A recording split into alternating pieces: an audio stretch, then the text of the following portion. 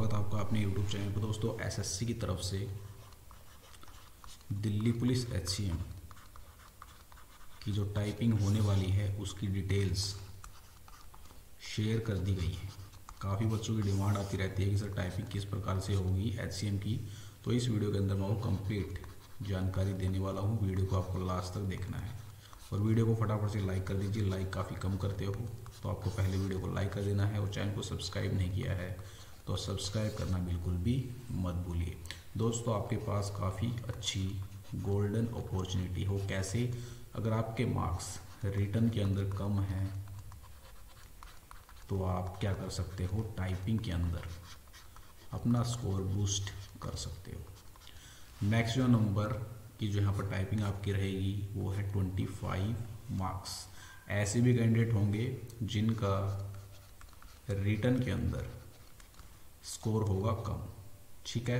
और वो टाइपिंग के अंदर ज़्यादा स्कोर कर जाएँगे और वो कैंडिडेट जिनका, जिनके रिटर्न के अंदर ज़्यादा मार्क्स रहेंगे और टाइपिंग में स्कोर कम होगा तो ये ऊपर वाले कैंडिडेट इन कैंडिडेट्स को जिनके रिटर्न के अंदर अच्छा स्कोर है 80 के आसपास या 80 से बो तो इनको वो क्रॉस कर जाएँगे। काफ़ी ज़्यादा कैंडिडेट ऐसे रहेंगे।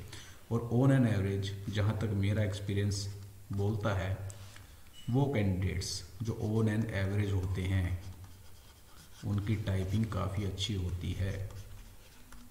अब इसके अंदर सत्तर के अप्रोक्स किसी कैंडिडेट के आ रखे हैं तो ये वाली जो कैटेगरी होती है ना, इनकी जो टाइपिंग होती है वो काफ़ी अच्छी होती है और ये लगभग 25 मार्क्स ही लेकर आएँगे।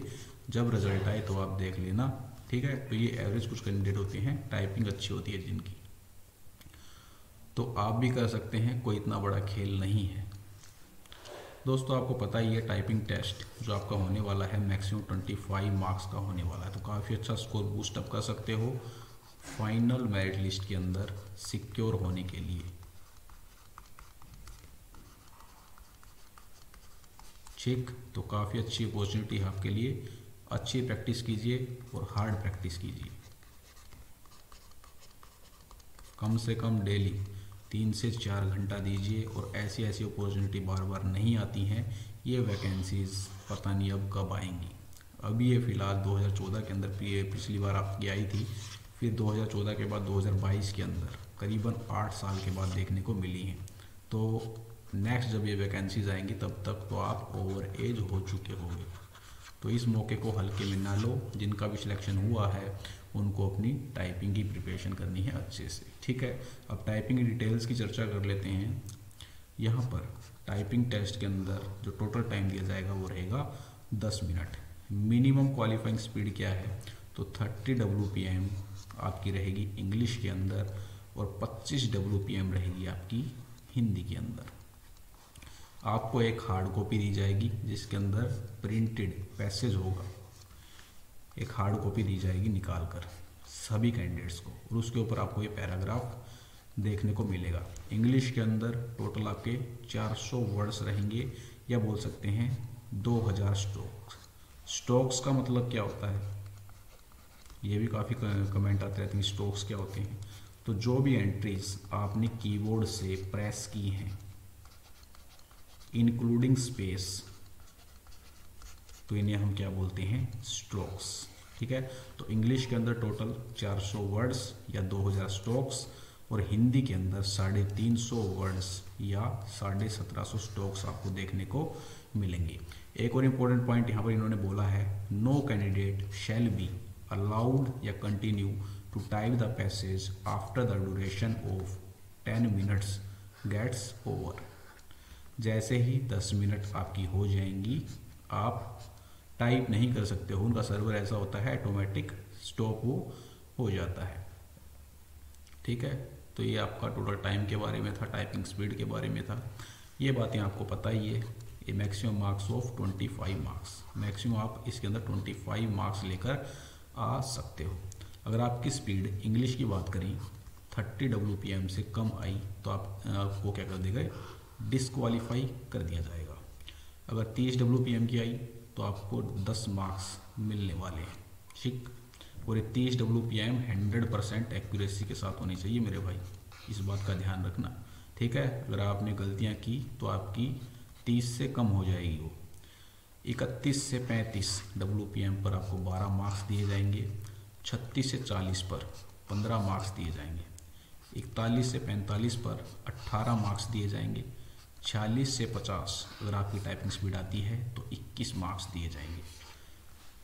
अगर पचास प्लस है आपकी टाइपिंग स्पीड तो आपको पच्चीस मार्क्स दिए जाएँगे। ठीक है? हिंदी की बात करें तो twenty five W P M से अगर आपकी कम आई तो आप डिस्कालीफाई हो। Twenty five W P M पे दस नंबर, छब्बीस से तीस पर बारह नंबर, इकतीस से पैंतीस पर पंद्रह नंबर, छत्तीस से चालीस पर अट्ठारह नंबर इकतालीस से पैंतालीस पर इक्कीस नंबर और पैंतालीस से अब अगर आपकी टाइपिंग स्पीड आई तो पच्चीस नंबर आपको पूरे यहाँ पर दिए जाएँगे। ड्यूरेशन मैंने आपको बता ही दिया है टोटल टाइम आपको जो दिया जाएगा दस मिनट इसके बाद आपकी टाइपिंग जो है वो ऑटोमेटिक स्टॉप हो जाएगी। फिर यहाँ पर दे रखा है वर्ड्स कैसे आपके काउंट होंगे तो total strokes upon five English की बात करें तो टोटल स्टॉक्स आपके पैराग्राफ के अंदर कितने रहेंगे? 2000 तो 2000 को पाँच से हम जब डिवाइड करते हैं तो हमारे पास कितने आते हैं? 400 वर्ड्स तो ये 400 वर्ड्स ही आपको देखने को मिलेंगे इंग्लिश के अंदर। टेंटेटिव स्पीड इसको बोलते हैं हम ग्रोस स्पीड ठीक है? तो टोटल वर्ड्स जितने आप टाइप करोगे, मान लो 400 में से आपने साढ़े तीन सौ वर्ड टाइप किए।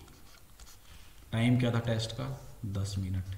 तो आपकी जो टाइपिंग स्पीड है, यानी कि ये ग्रो स्पीड ये निकलेगी 35 डब्ल्यू पी एम की। ठीक? मिस्टेक्स की बात करें तो one word for each mistakes यहाँ पर नीचे एग्ज़ाम्पल के तौर पर बता भी रखा है। यहाँ से और आपको अच्छे से समझ में आ जाएगा। ठीक? यहाँ पर बोल रखा है total number of strokes type अगर आपने 2000 स्टॉक्स टाइप किए वर्ड कितने बनेंगे आपके? 400 वर्ड्स। ग्रोथ स्पीड अभी क्या निकलेगी? तो total words upon time of test 400 भाग में 10 तो चार, चालीस डब्ल्यू पी एम की आपकी टाइपिंग स्पीड निकल जाएगी। अब मान लीजिए आपने गलतियाँ कर दी 10 10 जैसे गलतियाँ आपने की तो आपकी नेट स्पीड या एक्चुअल स्पीड बोले इसको तो ये कितनी बनेगी? 40 में से दस माइनस हो जाएँगे तो थर्टी डब्ल्यू पी एम आपकी एक्चुअल स्पीड यहाँ पर निकलेगी। अगर आप ये ही चालीस W P M hundred percent accuracy के साथ करते तो आपको देखो स्कोर कितना मिलता।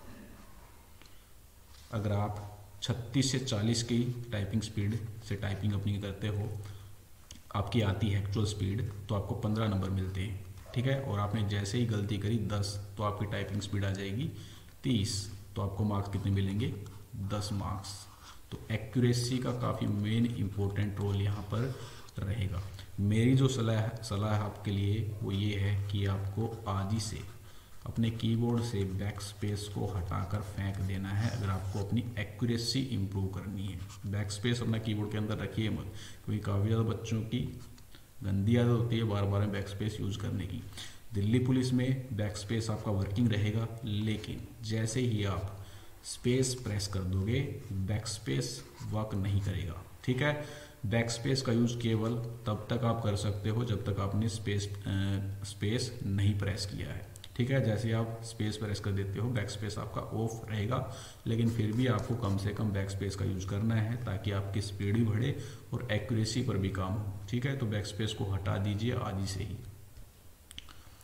मिस्टेक्स इन्होंने यहाँ पर बता रखी है कैपिटल लेटर अगर आपने टाइप कर दिया स्मॉल लेटर की जगह ओमिशन सब्सटीट्यूशन एडिशन या आपने गैप ज़्यादा कर दिया वर्ड्स के बीच में, या आपने पैराग्राफ नहीं बनाई। अब मुझे यहाँ पर जो लग रहा है, आपको जो प्रिंटेड पैसेज मिलेगा, उसके अंदर पैराग्राफ्स देखने को मिलेंगे। तो ये पैराग्राफ्स भी हम आपको प्रोवाइड करवाएँगे। अगर आप ये पैराग्राफ नहीं बनाओगे टाइपिंग के दौरान तो आपके यहाँ पर मिस्टेक्स के अंदर उन्हें काउंट किया जाएगा। दो प्रकार से आपके पैराग्राफ बनते हैं। एक तो पैराग्राफ होता है, सीधा स्टार्ट होता है। ठीक है? ऊपर मान लीजिए दो पैराग्राफ हैं। ऊपर वाला पैराग्राफ आपका सीधा स्टार्ट होता है। दूसरा क्या होता है कई बार? टैब पहला जैसे हमने टाइप कर दिया, फिर हम एंटर प्रेस करेंगे और एंटर के बाद टैब की का यूज़ होता है। ठीक है? आपने देखा होगा पैराग्राफ के नीचे आपको कुछ थोड़ा सा यहाँ पर स्पेस देखने को मिलता है। तो यहाँ पर क्या होता है? आपका टैब की का यूज़ किया जाता है। कई बार ये फ़र्स्ट पैराग्राफ में भी टैब की का यूज़ होता है। तो इस प्रकार से पैराग्राफ आपके डिज़ाइन होते हैं। ये सारे पैराग्राफ आपको हम ज़रूर शेयर करेंगे। टेंशन नहीं लेना है आपको इसका। ठीक है? तो आपको इस प्रकार से पैराग्राफ भी बनाने हैं। अगर नहीं बनाए तो आपकी मिस्टेक यहाँ पर काउंट की जाएँगी। ठीक है तो एक ये नोटिस आया था आपका, दिल्ली पुलिस एच की टाइपिंग से रिलेटेड और जल्द ही आपका एक बैच शानदार बैच कंप्यूटर फॉर्मेटिंग टेस्ट का हम स्टार्ट करने वाले हैं। Nine seven two eight two seven five seven double five हमारा व्हाट्सअप और टेलीग्राम नंबर रहेगा। यहाँ पर आपको संपर्क कर लेना है और हम आपको वीडियो बनाकर भी बता देंगे। ठीक है?